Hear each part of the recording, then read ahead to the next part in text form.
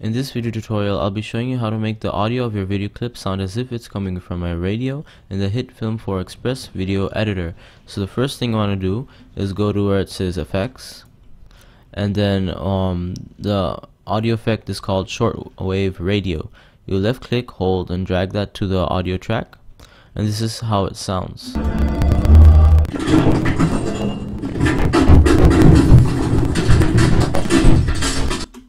And now you'll notice that this um, audio is very it has no bass in it or bass I don't know what you want to call it.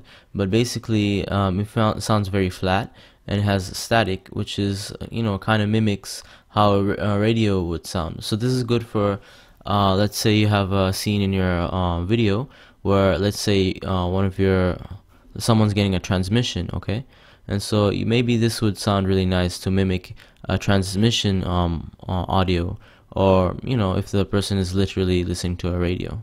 So that's how you apply the radio effect and this is how the audio sounds without that effect applied.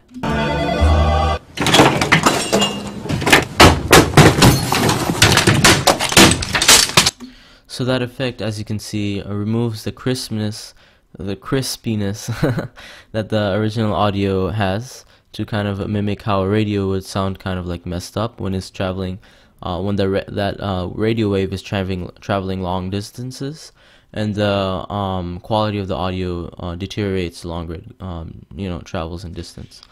You know that's how radio waves work. They're not very um, high quality so thanks for listening. If you have any questions, please feel free to ask me in the comments below.